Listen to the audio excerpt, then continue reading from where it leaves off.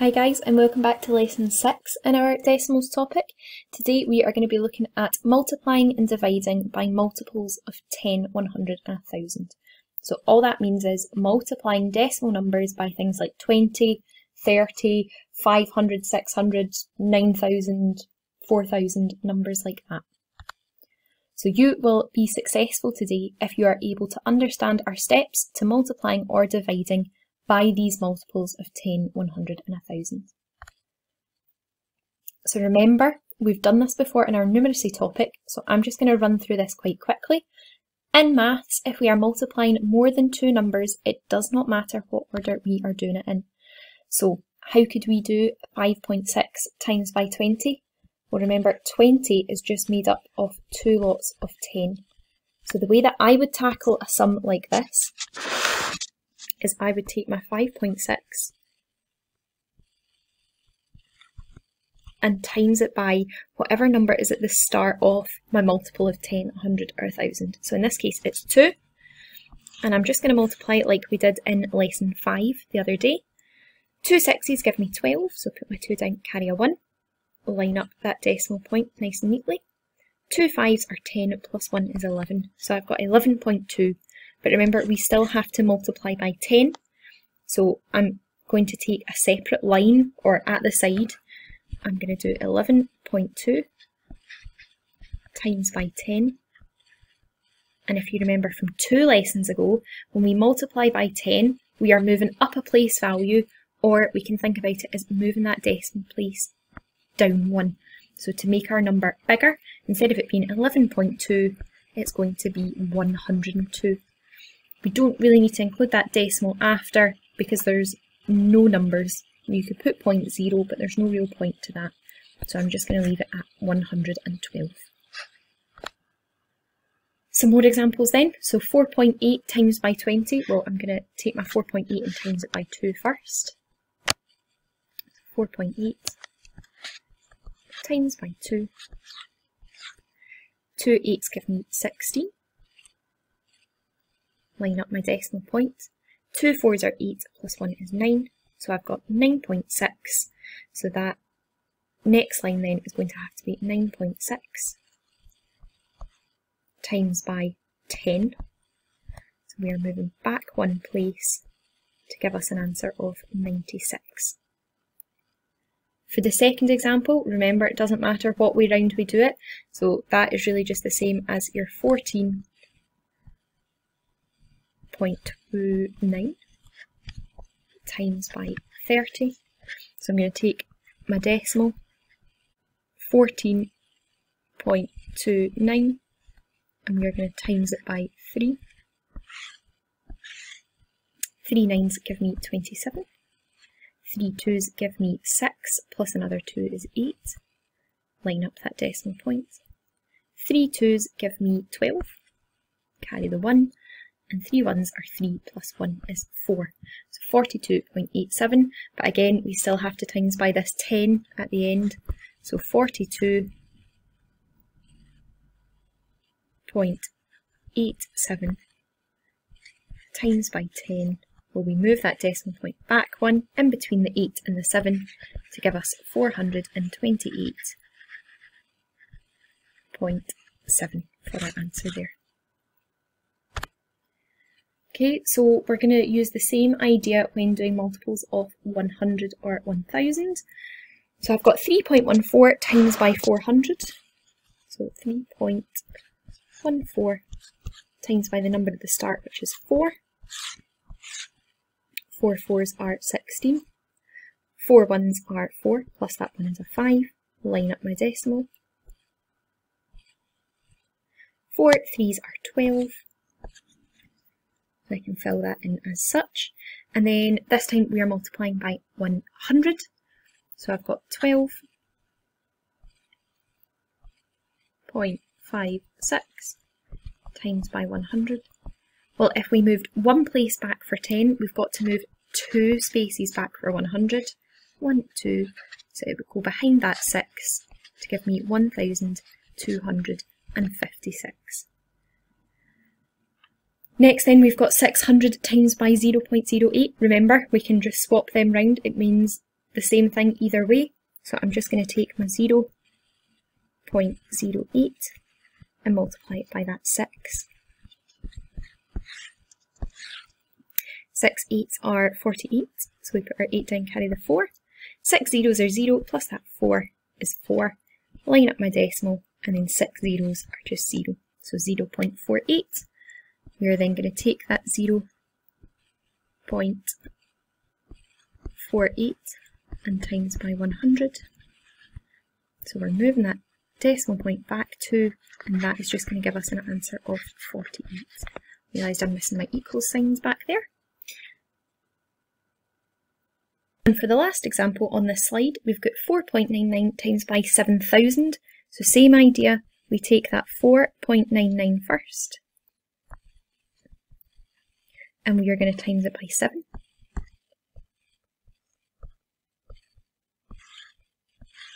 Seven nines are 63, so put my 3 down, carry that 6.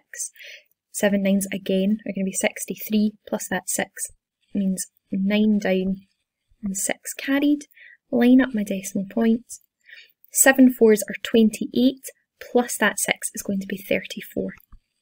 So an answer of 34.93 so far, because then we've still got to times that by 1000. So 34.93 times by 1000. Well, this time I've got three zeros. One, two, three. So we're going to have to move back three places. One, 2. So when I move back the third time, I've really got a 0 in here.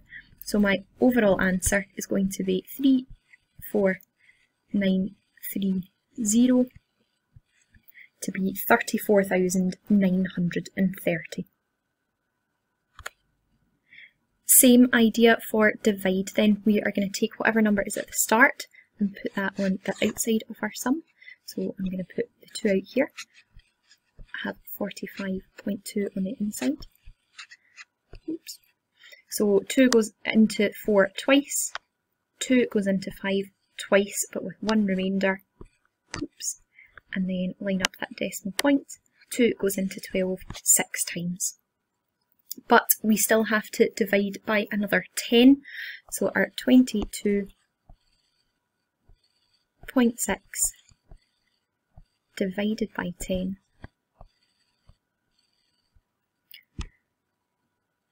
well, when we multiplied, we moved our decimal point back one space, so this time we have to move it forward one space to make that number smaller, and that is going to give us 2.26 for the answer there. Next then, I've got 15.47 divided by 70, so I'm going to take that and divide by 7 to start. So 15.47. So 7 can't go into 1, but it can go into 15 twice. Carry the 1. Line up my decimal point here.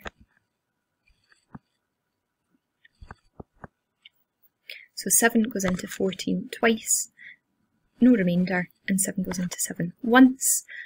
That means then that we've got 2.21 divided by our final 10, so we are going to put that decimal point back one space. So really we need to fill in a zero at the start, have our decimal, and then it's going to be 0 0.221 for our final answer there. again. Finally then, same concept with hundreds and thousands. So I'm going to start by drawing my division sum and we're going to divide by 5 this time. 6, 6, 3, 5 on the inside. So 5 goes into 6 once, carry the 1. 5 goes into 13 three times, carry the 1. 5 goes into 13 twice, carry the 3. And then 5 goes into 35 seven times. So now I'm doing 1327 divided by 100. Okay, and finally then, it's just the same idea with our hundreds and our thousands. So I'm going to start by dividing by 5 on the outside.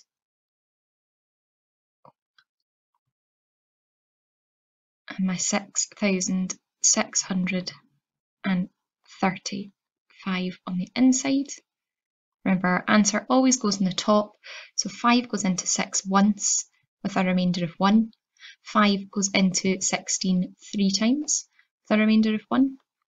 5 goes into 13 twice with a remainder of 3. And then 5 goes into 35 seven times there. Then the last thing we need to do is divide by our 100. So let's take our 1,327. We're going to divide by 100 and our decimal point is really at after our units. So it's down here behind the 7 and we are going to have to move it back two places this time. So 1, 2, in between that 3 and the 2 to give us 13.27 for our answer. And again, I've forgotten my equal sign at the start, so we'll put that in. And that's our answer for that one. The next one then, I'm going to have to divide by 8 this time. So draw out my division sum, put my 8 on the outside, and then 66.4. So 8 can't go into 6, but it can go into 66 8 times. 8 eights are 64, so that means I've got 2 left over. Line up my decimal points and then 8 goes into 24 three times. Last thing I want to do then is divide by my 1000. So I'll take that 8.3 divide by a thousand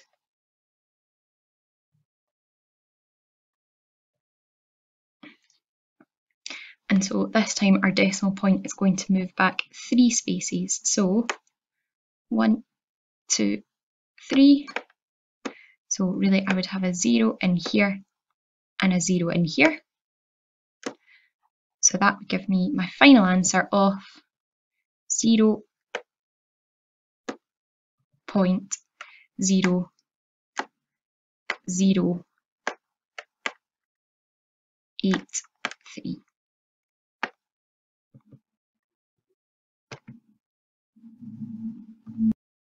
And that is you at the end of today's lesson. Really well done for sticking with all those examples, guys. As you can see here, I've continued with our chili ratings here. I expect everybody to be able to attempt questions 1 and 2, and most of us doing 3 as well. The only difference with 3 is that it's a mixture of times and divide in those questions. Question four is a wee bit harder. These are our context questions and this time it's a mixture of stuff we have covered today and stuff that we've covered over the last couple of lessons. So you might find that you have to look back at notes for the last couple of days work that we've done together.